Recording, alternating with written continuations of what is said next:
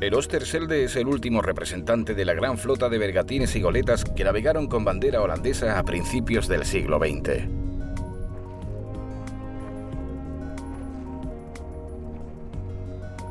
Su nombre, aunque pueda resultar extraño, proviene de una bifurcación hacia el este del río Eselten a su paso por los Países Bajos.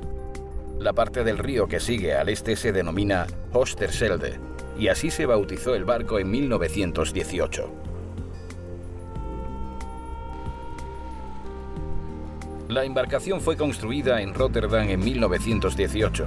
Durante sus primeros años no fue más que un barco de carga fuerte y resistente. En un solo viaje podía transportar en sus bodegas de carga toneladas de mercancías.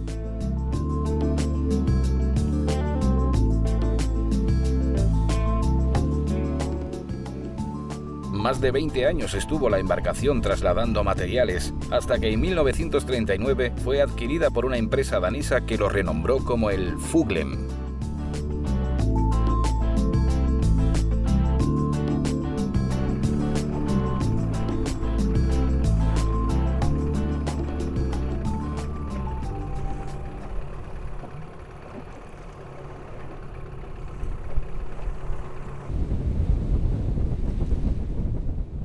Durante esta época la embarcación se convirtió en buque costero a motor, ya que el comercio con barcos a vela ya no era lo suficientemente rápido para las necesidades del mercado, por lo que se le construyó una torre de observación y navegó sin grandes sobresaltos en aguas tranquilas y propicias para la navegación de recreo.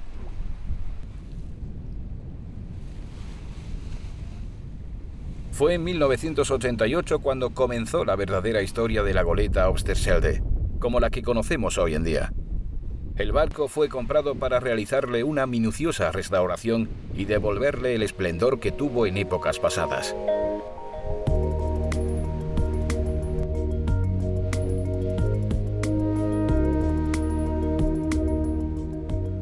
La restauración tardó dos años en completarse. En estrecha colaboración con tres museos marítimos y otras entidades, el 21 de agosto de 1992, Su Alteza Real, la Princesa Margarita, votó oficialmente al buque holandés.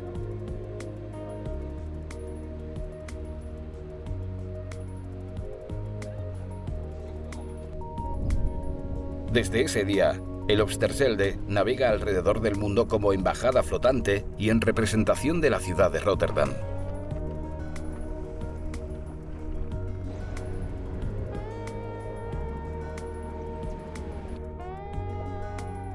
Su estampa de velero histórico surcando los mares es un verdadero reclamo para los amantes de la navegación.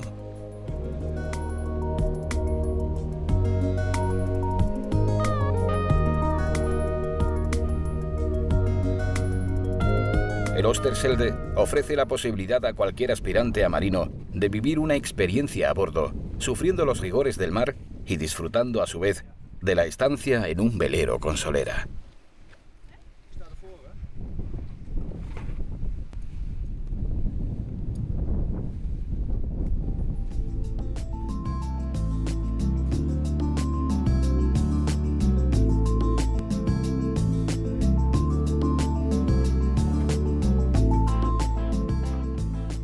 Asimismo, en los puertos extranjeros que visita, el barco se convierte en el escenario idóneo para que organizaciones y empresas lo utilicen para presentaciones, conferencias y recepciones. Su diseño atractivo y sus cuidados detalles impresionan al visitante.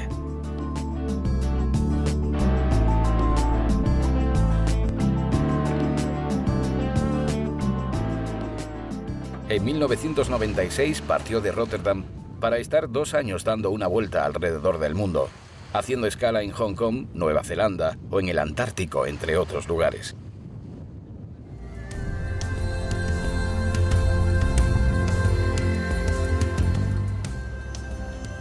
Por suerte, el Obsterselde es también un clásico en las concentraciones de grandes veleros.